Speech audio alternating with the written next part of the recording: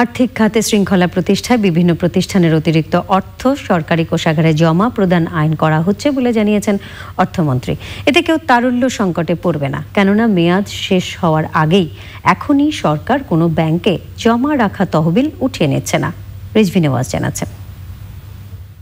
সোমবার মন্ত্রিসভার বৈঠকে স্বায়ত্তশাসিত আধা স্বায়ত্তশাসিত সংবিধিবদ্ধ সরকারি কর্তৃপক্ষ সহ বিভিন্ন প্রতিষ্ঠানের উদ্বৃত্ত অর্থ সরকারি কোষাগারে জমা প্রদান আইন দু হাজার উনিশের খসড়া অনুমোদিত হয়েছে।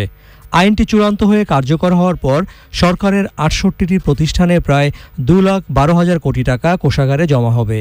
এত বছর পর এসে কেন এই আইনের দরকার হলো ব্যাখ্যা দিয়েছেন অর্থমন্ত্রী। অর্থনৈতিক ক্ষতি করার জন্য কিছু করা হয় নাই। তাদেরকে এনাফ টাকা রাখা হচ্ছে।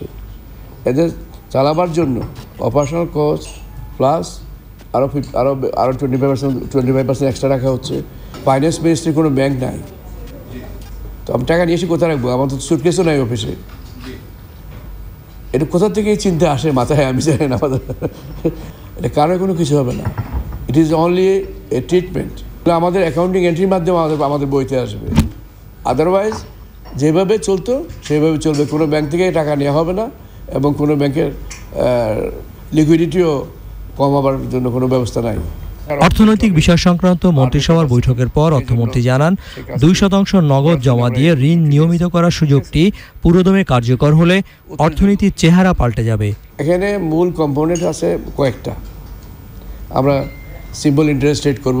এটাই সম্ভব স্যার মনে হয় যে এক্সিস্টিং মানে ব্যাংকাররা তো একদমই নাকচ করে দিয়েছে আমরা তাদের সাথে কথা বলেছি যে কম্পাউন্ড ইন্টারেস্ট থেকে তারা বেরোতে চায় না। তারা বেরোবার তারা বেরোতে চাবে না কেন? এটা তারা ব্যাংক তো তাদেরকে দিয়েছে আমরা। ব্যাংকে পারমিশন কে দিয়েছে? সরকার দিয়েছে।